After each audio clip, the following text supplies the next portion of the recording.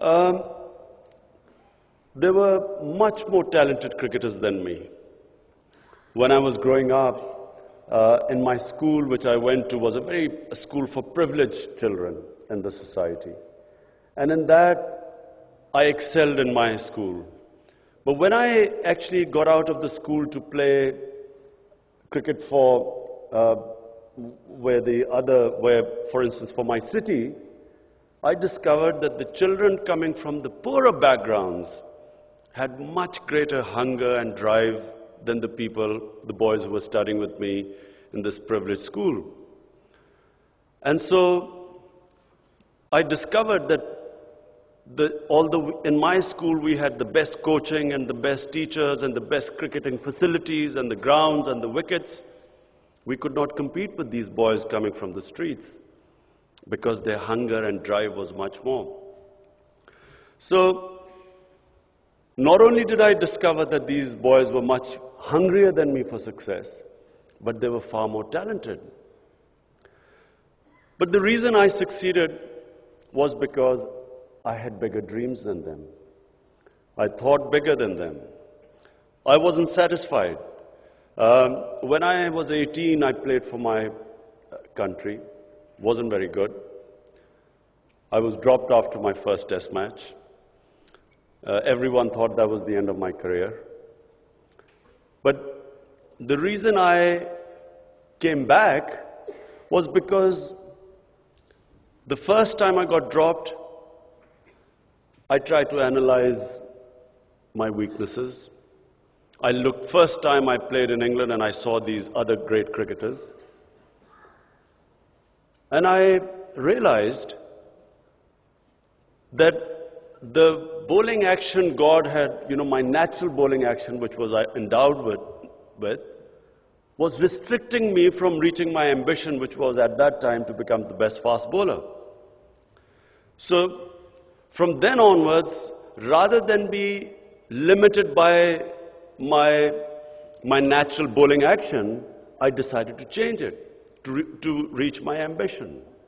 Now, this is, you know, very important for you to understand this. For some of the people here, it's important to know your limitations. People who don't know your limitations do not actually, are not successful. But it is also important never to be restricted by your limitations. Never accept them. Always try to expand those limitations.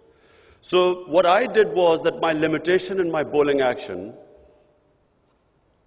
did not restrict me because I decided that my ambition, if I stuck with this bowling action, I would not be able to reach my ambition. So I changed my bowling action.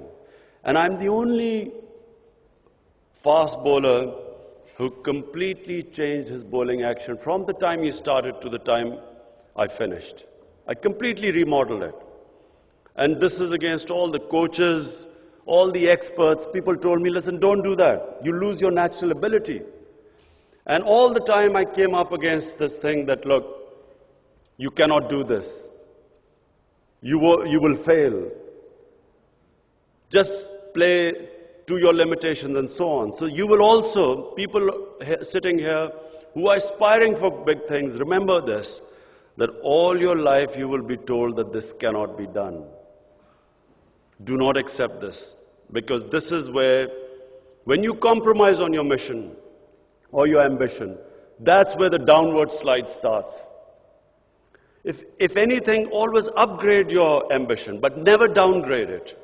Never accept anything less than what you aim for. So if I aim to become the, fast bowler, the best fast bowler in Pakistan, and, um, and if I had accepted what the coaches told me that your bowling action would not allow me, uh, me to get there, and accepted something less, then I know that it would be, have been the end of, I would have just become one of the ordinary cricketers. But I did not accept it. But then I upgraded my mission. When I became the best in Pakistan team, then I wanted to be the best in the world. You know, when I became the, when, what I thought I'd reach the best fast bowler in the world, then I wanted to be the best all-rounder in the world. And then I want, then once I became the captain, by the way, everyone told me don't accept captaincy because uh, fast bowlers do not become good captains. They all gave me the example of Ian Botham, who had failed as a captain. They said, listen, he's failed, you will also fail as a captain. So you will always come up against this. But then it became, when I became the captain, I wanted to make Pakistan team the number one team in the world. So ambition must be upgraded all the time. Never bring it down, never downgrade it, because the moment you downgrade it, as I said, it's a downward spiral. You keep going down. And when you keep struggling to go up, this is where your inner strength comes in. We, what I mentioned before. We all have great potential. But it's only when you pit yourself against challenges that you begin discovering this potential in you. It's like, um, you know, it's like uh, if you do weight training, your arm gets strong. Uh, you know, if you just don't do anything with it, it'll just shrivel up. The, but the mind is the, is, is, is the more you put your mind to pressure, challenges, the stronger it becomes. It's a, there's a great verse by one of our greatest poets which says something like, Oh hawk, don't be scared of these gusts of wind that hit you. They are meant to make you fly higher. So don't be scared of these, uh, you know, when you, obviously, the bigger challenges you have, the more resistance you'll have. But never be scared of that. Because when you pit yourself against resistance, you get stronger. So my my action, my body wasn't equipped to be that of a fast bowler. But the more I tried and the more I, more I struggled towards it, my body got stronger. And similarly, uh, much more, of course, is the case with the mind. Um, then, when, when I became the captain, uh, I had these ambitions that I wanted Pakistan to be the best team. Now that ambition must take precedence over everything else. Uh, you should be able to, if you cannot for any reason, any impediment in that way of your ambition, you must be able to, whatever it takes, you should be able to sacrifice for that. And so I'm the only captain, and that's the reason I was successful. I'm the only captain who twice resigned because the selectors did not give me the team I wanted to, to win. So my ambition was to be the best, uh, make Pakistan the best team. When I realized that I wasn't getting the best team, for me to achieve that ambition, I was willing to resign rather than stay the captain. So this is also very important that you must, you know, do not let anything get in the way of your ambition. Compromise for your vision.